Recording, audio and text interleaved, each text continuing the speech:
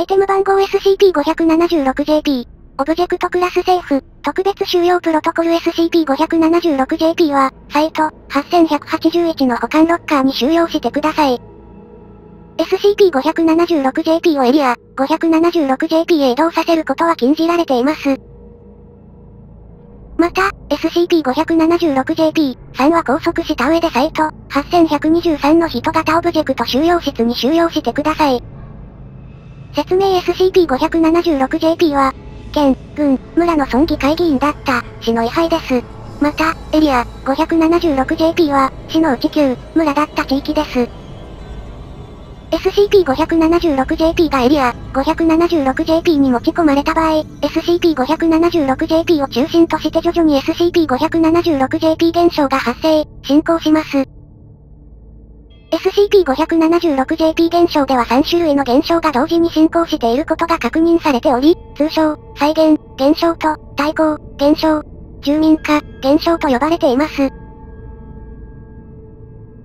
再現、現象の対象となるものは現象発生時に建造物が建てられていなかったエリア、576JP 内部の土地です。SCP-576JP がエリア、576JP に持ち込まれてからランダムなタイミングで発生します。再現、現象が発生すると、対象となった土地に突如建造物、SCP-576JP-1 と人型実体、SCP-576JP-2 が出現します。現時点で確認された限りでは SCP-576JP-1 は年代、1900年代に実在した商業施設に、SCP-576JP-2 はその従業員に告示しています。SCP-576JP、1及びにはあたかも最初からその場に存在したかのように振る舞います。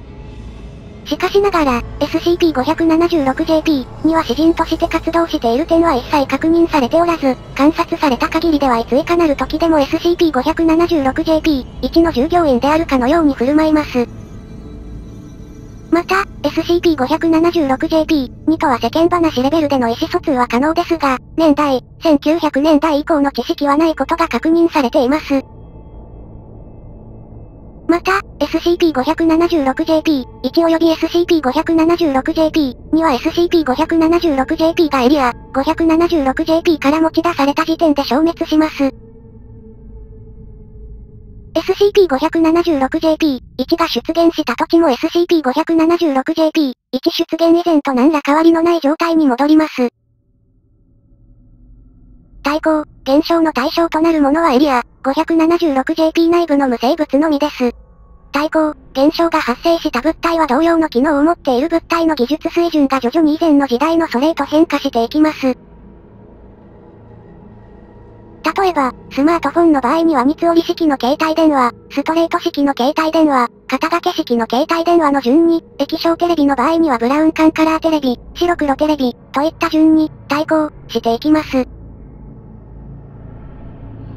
対抗、現象は最終的には、再現、現象と同じく年代、1900年代の水準にまで、対抗、した時点で終了しますが、当時存在しなかった技術を利用した物品は、対抗、現象の途上で消滅します。対抗、現象の影響を受けた物品は、再現、現象とは異なり SCP-576JP がエリア、576JP の外へ持ち出された場合でも元の状態には戻らない点に注意してください。住民化、現象の対象となるものはエリア、576JP 内部にいる人間です。住民化、現象が発生すると、対象となった人物は SCP-576JP3 へと変化します。SCP-576JP3 は、年代、1900年代当時に、村に居住していた人物の、年代、1900年代当時の外見をした人型実体です。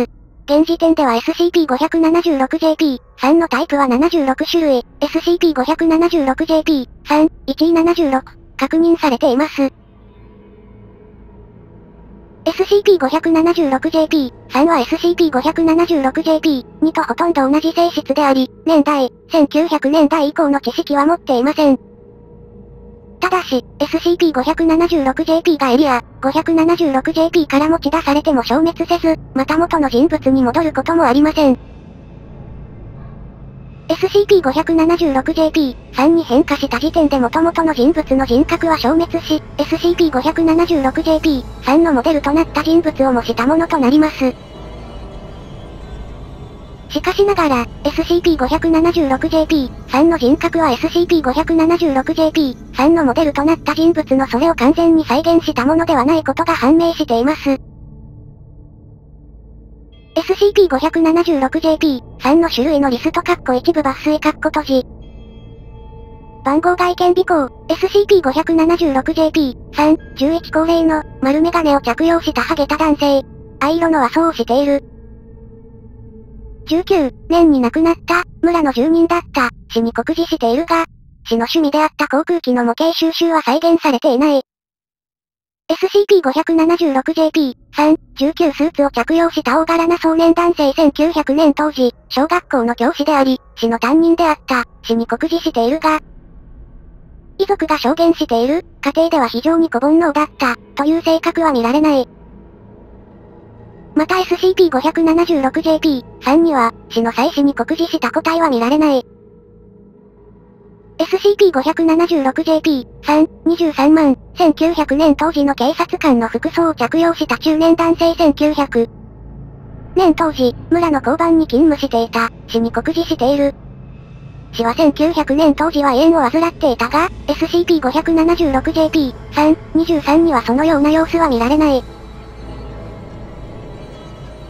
SCP-576JP、3、36赤色の野球帽に短ズボン、ランニングシャツを着用した10代前半の男性、死の友人だった、死の少年時代に告示している。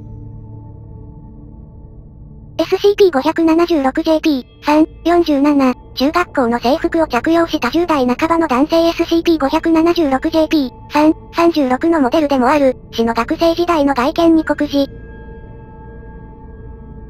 SCP-576JP、3、65モンペを着用した老齢女性1900年当時、村で農業を営んでいた、死に告示。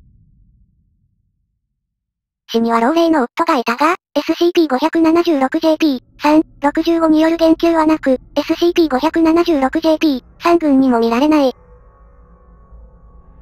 なんというか、昔の村を忠実に再現した、というより個人の印象や記憶を頼りに再現した、という感じなんですよね。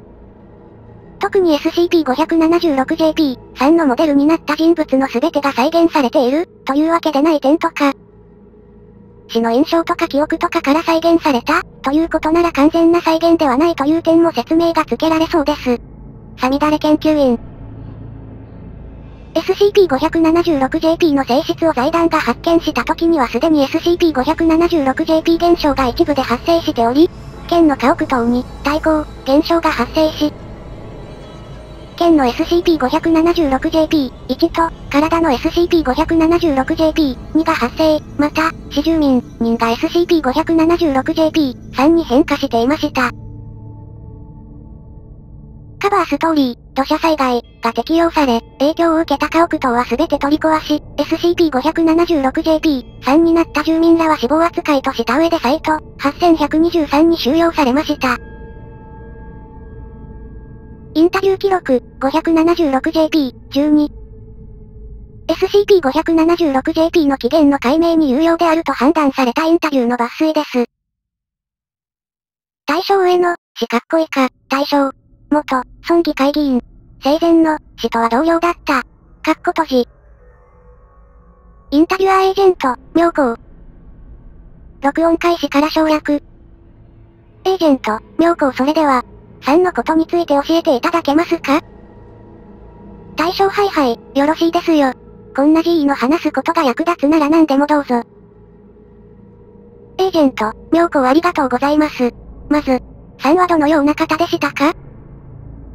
対象そうだねまあ悪い奴じゃなかったのは確かだね。なんせ電線の工事絡みで賄賂渡そうとした業者を怒鳴りつけて警察に通報したくらいだし。ただ、エージェント、妙高ただ？大将いささか怒りっぽくてなその時も怒鳴りつけるだけでなくても出そうとしてたって話だし、奥さんや息子さんが止めたみたいだけどね。エージェント、妙高直情的な方だったんですね。大将まあ、そうなるわな。死ぬ何年か前からはもっと怒りっぽくなってたな。こう言っちゃ悪いけど、ボストが赤いと言っては吠え、東から日が昇ったら噛みつくなんて調子だったからね。あとは、あの村が大好きだったね。エージェント、妙高と、おっしゃいますと？大将あいつは生まれも育ちも、村だったからね。村への愛着は人一倍だったよ。今思えばそれがあいつの命取りになったんかね。エージェント、妙高命取り、ですか？大将運、あいつは、村が、死に吸収されて、っていう名前が消えるのが本気で嫌だったみたいでね。最後まで、村長に食ってかかってまで反対してた。そのことでずっと、四六時中夕腹立てていてさ。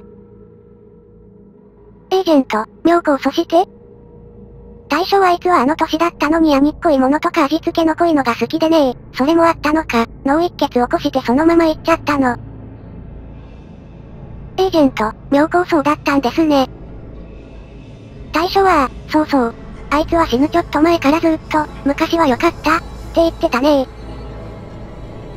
エージェント、妙高昔は良かった、ですか？大将運。俺とか、とか、ともかく同年代の連中によく言ってた。昔は良かった、携帯やらパソコンやら変な機械もなかったし、もっと素朴、素朴だったし、それに、村も賑わってたし、ってね。録音終了まで省略。